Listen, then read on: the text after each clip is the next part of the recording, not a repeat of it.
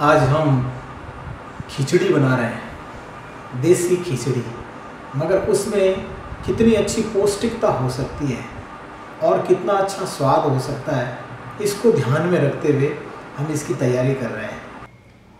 खिचड़ी में जैसे मूंग छिलका की दाल और चावल अभी भिगो के रख दिए हैं और दूसरी ओर हम सब्ज़ियाँ, यानी पौष्टिकता को बढ़ाने के लिए और क्योंकि बच्चे वैसे साधारणतः नहीं खाते हैं, मगर खिचड़ी में कितनी भी सब्ज़ियाँ मिला दें, वो खा लेते हैं। यानी एक पौष्टिकता जो है, शरीर में पहुँच जाती है।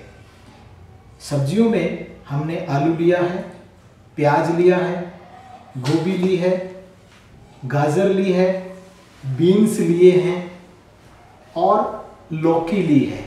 इसके अतिरिक्त भी जो सीजनल सब्ज़ियाँ होती है, उसका हम उपयोग कर सकते हैं।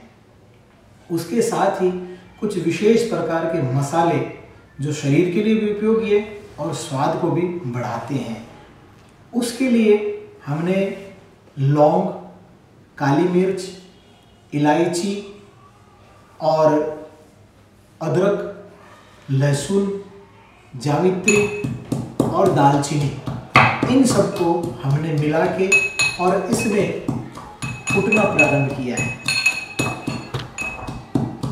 इसी के साथ में ये हरी मिर्च है, इसको भी हम कूट लेते हैं ताकि ये अच्छी तरह से उसके अंदर मेस हो जाएगी।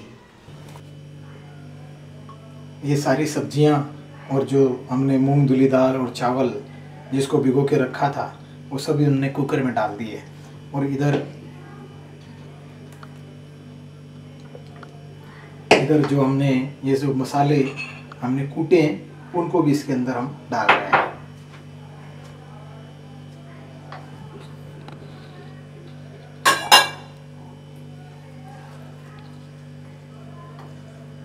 जो एक प्रकार थोड़ा सा पेस्ट सा बना है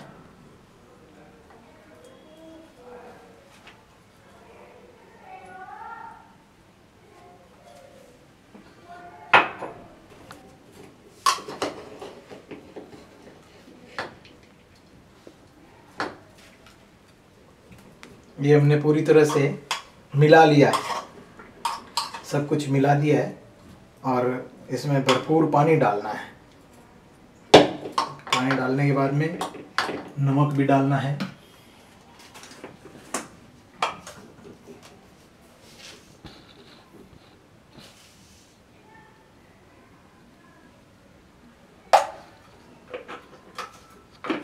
नमक हमने डाल दिया है। हल्की सी हल्दी भी, थोड़ा सा रंग अच्छा आ जाएगा और पौष्टिकता भी बढ़ेगी।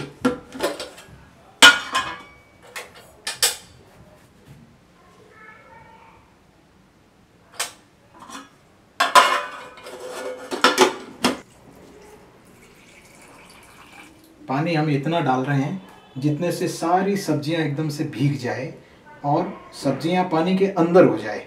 ये जो कुकर है ये, और जिसमें, इसमें जितनी सामग्री ली है, वो हमने चार जनों की खिचड़ी, यानी चार जनों का पूरा भोजन।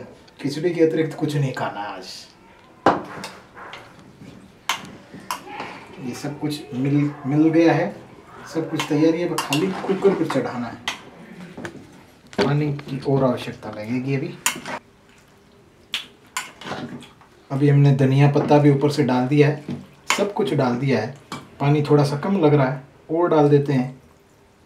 यानी पूरी तरह से पतली खिचड़ी बनेगी, जिसको हम दही, पापड़, अचार और घी जैसा कि कहते हैं, खिचड़ी के चार या दही, पापड़, घी, अचार, उनके साथ खाने की पूरी तैयारी है। घी की जगह हम बटर यूज़ करेंगे, वो और अच्छा लगेगा, स्वाद लगेगा। पानी और थोड़ा सा डाल दिया। बस अब बिल्कुल तैयार है।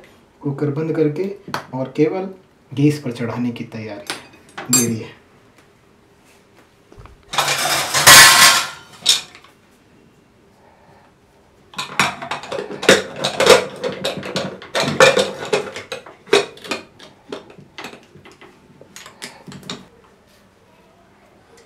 सब कुछ इस कुकर के अंदर डालने के बाद में अब हम गैस जला रहे हैं और ये पकना शुरू हो गया है।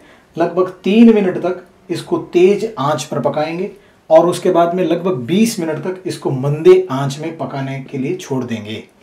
और फिर कुकर बंद भी करेंगे तो भी लगभग 20 मिनट तक इसको खोलेंगे नहीं, ताकि ये अंदर ही अंदर एकदम से घुल जाए। बहुत ही अच्छी तरह से पक जाए। और उसके बाद में इसको हम खोलने के बाद में दही, अचार, पापड़ इसके साथ खाएँगे। और उससे भी पहले हम इसमें अपने स्वाद के अनुसार बटर और नींबू भी स्वाद के अनुसार इसमें डाल देंगे। ये है आज की हमारी खिचड़ी का नया फार्मूला।